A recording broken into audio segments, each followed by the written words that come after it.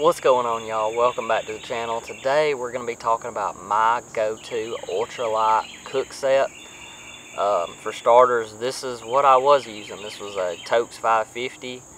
Um, it's a great pot, especially for the price, but I definitely feel like my new setup is a lot better than this. There's definitely some things that I don't love about this pot. So yeah. But this is the current setup. So this is a Evernew 500 milliliter pot. Some of the stuff that I really like about this pot, for starters, is it has like a little spout at the top. So if you're doing, you know, if you're you've got boiling water, obviously, and you're pouring it into a Mountain House meal, or if you're doing like a pour over with coffee, um, it's a lot easier to like pour your water more precisely when you have this, obviously, than if it was just round all the way. I mean, I know it's not a huge deal, but I mean, we're talking about a pot, so every little tiny detail matters. Um, something else, the lid actually nests on the top. The toaks will just fall right off, so you pretty much have to have a rubber band for the toaks, and for this, you're you're good to go. Uh, the only thing that I didn't really like is this is kind of an expensive pot. It's like, I want to say 50 bucks. And there was nothing covering the handles. So, I'm not going to lie, the first time I used this, I burned the crap out of myself. Because the flame had kind of, the wind was blowing, and the flame had ended up getting the handles hot. And I grabbed these handles and it hurt. I burned myself pretty bad. So I ended up buying some fireproof silicone and putting it, taking the handles off of the pot and putting the silicone on. And so far, that's worked out really good. Now I can just grab the pot and I don't have to worry about burning myself. I don't have to worry about having a glove or something like that on. So that's been really helpful, but it does kind of stink that you spend that much money on a pot and it doesn't have and then or it, you spend that much money on a pot and you have to worry about burning yourself. Like it, it should come with this already on there. And they do have other pots that do have the silicone on the handles.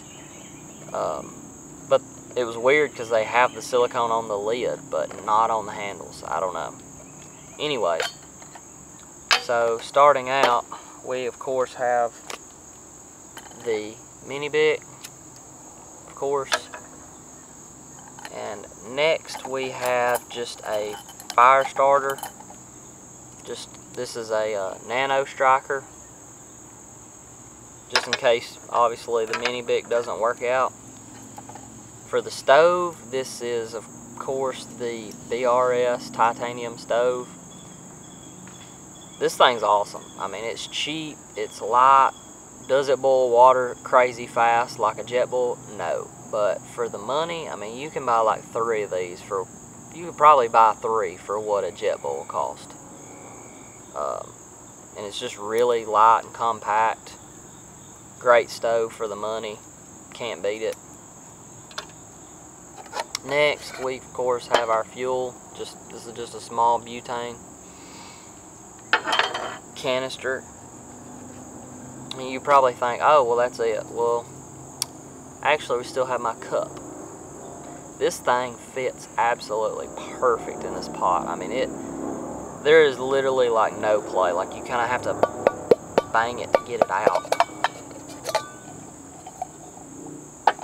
And this is the to Summit X Cup. It's kind of small, not gonna lie. I mean, it's only 8.3 ounces holds 8.3 ounces, but it's really all that you need. I mean, honestly, these cups are great just because you, but you know, they're real compact. You just fold them up and you can put them down in the bottom of your pot and it's just perfect in my opinion. Love these things. But yeah, that is my go-to setup. Um, I've been really happy with it. It may not be may not be perfect, it may not work for everybody, but so far it's worked great for me. I haven't had any problems out of it. Thank you guys so much for watching. If you got any questions, drop a comment, let me know. Uh, I'll be sure to get back to you. But I will catch you guys in the next one. Take it easy, everybody.